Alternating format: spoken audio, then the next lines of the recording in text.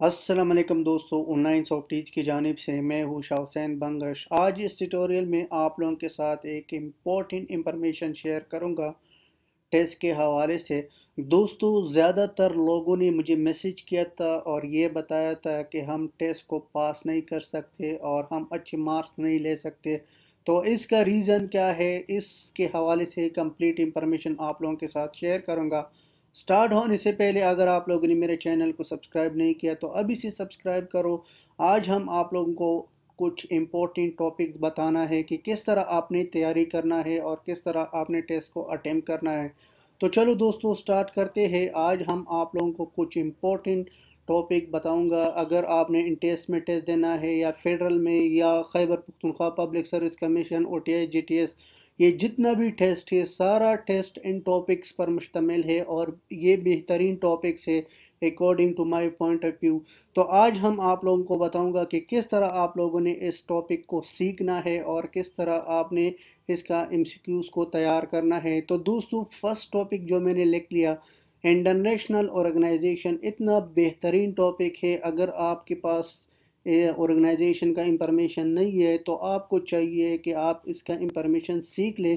کیونکہ جو بھی ٹیسٹ آتا ہے، تقریباً دس سے بیس percent M C Qs organization سے آتا ہے۔ جیسے آپ کو پتہ ہے آئی ایم ایف یعنی انٹرنیشنل مانیٹری فنڈ تو دوستو، آپ نے کیا کرنا ہے؟ اس کی ابریویشن بھی سیکھنا ہے اور اس کو مطلب کیا ہے اور یہ آرگنائزیشن کس مقصد کے لیے بننا ہے اور یہ آرگنائزیشن کس طرح کام کرتا ہے، کرنا ہے۔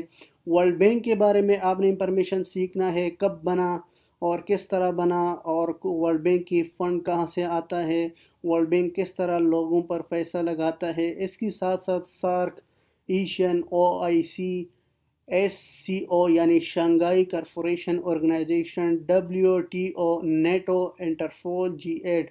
تو اسی طرح سے بہت سی آرگنائزیشن ہے لیکن یہ آرگنائزیشن زیادہ پاپولر ہے اگر جو بھی دوست نے ٹیسٹ دیا تھا، اس کو یہ اندازہ ہو سکتا ہے کہ یہ آرگنائزیشن کتنا امپورٹنٹ ہے۔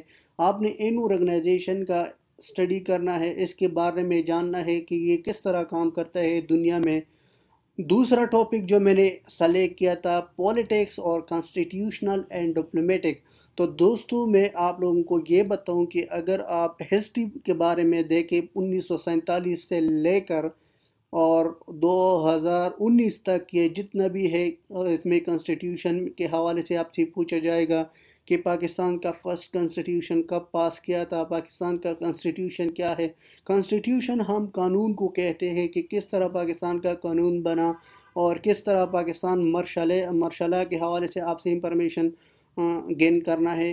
ڈپلومیٹک کے حوالے سے یہ سیکنڈ ٹاپک ہے، یہ بھی بہت بہترین ہے۔ آپ کو اندازہ ہوگا کہ فرسٹ پرائم منسٹر کون ہے، پاکستان کا فرسٹ گورنر کون تھا، پاکستان کا پاکستان کا مرشلہ کب لگایا اور کس کس نے لگایا تھا؟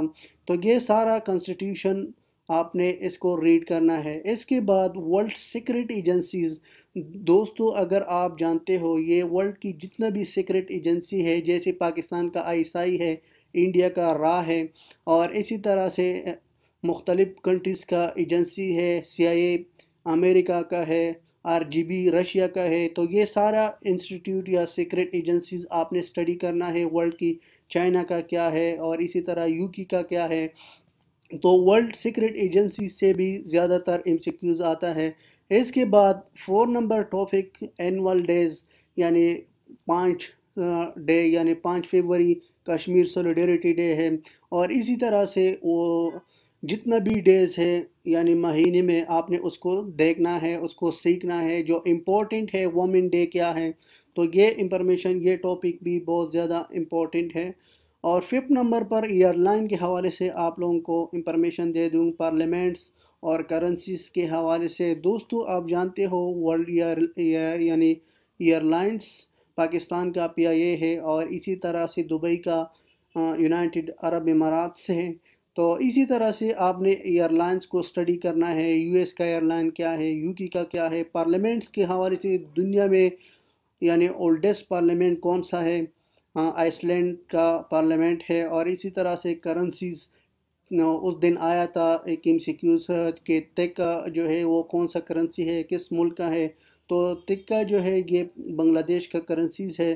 تو اسی طرح سے آپ نے کرنسیز کو دیکھنا ہے ہائیسٹ ملیٹری ایوارڈز یعنی ورلڈ سیکرٹ ایجنسیز کیا ہے اور ہائیسٹ ملیٹری ایوارڈز کیا ہے، جسے جیسے پاکستان میں ملیٹری ایوارڈز ہے نشان حیدر ہے اور اسی طرح سے مختلف ایوارڈز ہے کچھ ملیٹری کے ایوارڈز ہے اور کچھ پرائیویٹ ایوارڈز ہے تو اس کے بارے میں آپ نے جاننا ہے۔ ان کے حوالے سے سیون نمبر پر جو ہوٹسٹ ٹاپک ہے، وہ ہے اوسکر ایوارڈ یعنی ورلڈ ریکارڈ نوبل پرائز۔ تو دوستو، یہ کچھ امپورٹنٹ ٹاپکس ہے آپ نے اس کو ریڈ کرنا ہے۔ میں آپ لوگوں کو یہ گارنٹی دیتا ہوں کہ اگر آپ لوگوں نے تقریباً بیس پرسنٹ بھی سو میں سے بیس پرسنٹ بھی آپ نے ریڈ کیا تھا ان سارے ٹاپکس کو، تو آپ آسانی سے ٹیسٹ کو پاس کر سکتے ہو۔ اس کے بعد ایٹ نمبر پر جو میں نے لکھ لیا تھا rivers oceans seas canals dam mountain and desert جیسے اگر آپ دیکھیں زیادہ تر مونٹائن کبھی ایم سی کیوز آ سکتے ہیں کہ دنیا میں سب سے بڑا مونٹائن کون، کہاں ہے؟ نیپال میں ہے اور اس کا نام کیا ہے؟ مونٹ ایورسٹ تو اسی طرح سے آپ نے اس کو بھی دیکھنا ہے۔ اس کے ساتھ ساتھ نو نمبر پر ہسٹوریکل پلیسز آف پاکستان. یعنی پاکستان میں ہسٹوریکل پلیسز کیا ہے؟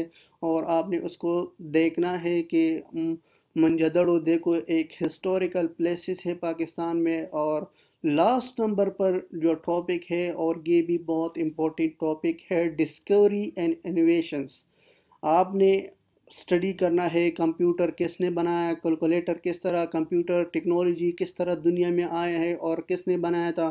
تو یہ سارا ڈسکوریز میں آتا ہے انوینشن کے حوالے سے مائکرو پروسیسر کس طرح آیا۔ تو یہ تھا دوستو، کچھ امپورٹنٹ انفارمیشن دس ٹاپکس میں نے آپ لوگوں کے ساتھ ڈسکس کیا تھا۔ تو میں آپ لوگوں کو لاسٹ میں یہ کہوں گا کہ اگر آپ لوگوں نے بیس پرسنٹ بھی کم از کم ہر ٹاپک میں اسٹڈی کیا تھا، تو آپ آسانی سے ٹیسٹ پاس کر سکتے ہو۔ ٹیسٹ اتنا مشکل نہیں ہے، لیکن صرف اور صرف آپ لوگوں کے پاس کچھ جنرل نالج ضروری ہے۔ تو دوستو، یہ تھا کچھ انفارمیشن اسی طرح سے میں آپ لوگوں کے ساتھ مزید انفارمیشن شیئر کروں گا۔ تو انشاءاللہ نیکسٹ ٹیٹوریل میں ملیں گے۔ اللہ حافظ ٹیک کیئر